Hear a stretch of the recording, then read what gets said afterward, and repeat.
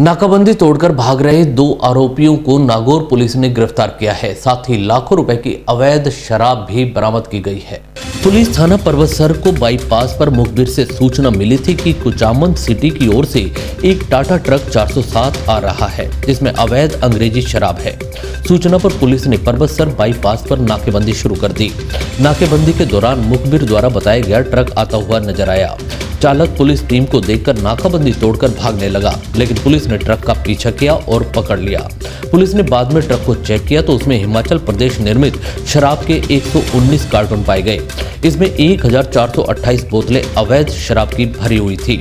गिरफ़्तार आरोपी नगराम और अर्जुन बाड़मेर ज़िले के धोरीमना इलाके के रहने वाले हैं। पुलिस इन तस्करों से पूछताछ कर मामले की जाँच कर रही है।